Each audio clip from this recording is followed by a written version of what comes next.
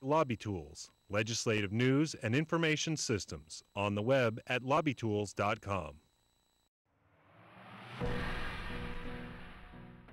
Probably football season. The FSU College Republicans are on campus in full force this election season. Let's give you right here.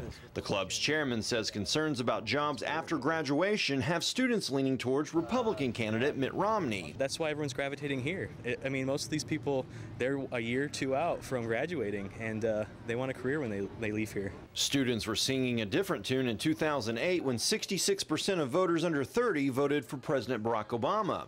A new poll shows youth support for the president dropping to 52% this election cycle. The drop in enthusiasm was apparent on FSU's campus Thursday. A steady stream of students visited the Republican booth, but one table over, a less ornate display for Obama went mostly unnoticed. We asked students at the table about the youth vote, but the students weren't given permission to talk to the media.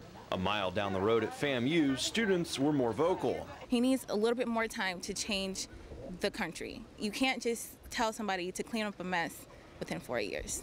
Romney's Florida campaign chairman says the economy is killing enthusiasm for Democrats among college students. There is clearly not the campus movement, the student movement. And I think it's because they know that their employment opportunities have diminished in the last four years, not grown. Despite the shift, Obama is expected to win the youth vote just by a much smaller margin. In Tallahassee, I'm Whitney Ray reporting.